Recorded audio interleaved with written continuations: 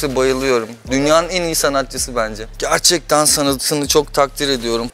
Yani Twitter kullanamıyor. Ondan sonra sosyal medya platformlarında çok dengesizce hareketler ediyor. Çok e, fevri, e, altını e, altına bakmadan bazı şeylerin hareket ediyor. Bu konuda zaten beni polise falan vermişliği var ama bir, biraz araştırabilirdi.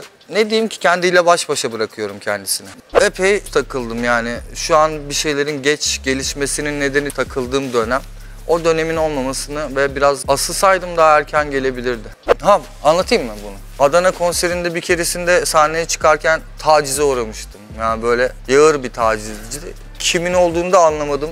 Etrafıma baktım. Fiziksel tacize uğramıştım. O biraz garibime gitmişti hani. Çünkü her taraf sap dolu. Siz kim hani ha- hatun da göremedim etrafımda.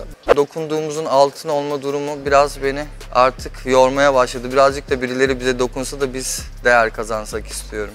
Çok ola- olabiliyor yani zorlanabiliyorsunuz. Yani ama böyle kendinizden bahsederken ya da direkt rap dünyasından bahsederken artık doğal bir alışılageldik bir sistem ve ne bileyim bir içinde bulunduğunuz bir sistem olduğu için rahat oluyor. Bence yeraltı operasyonu.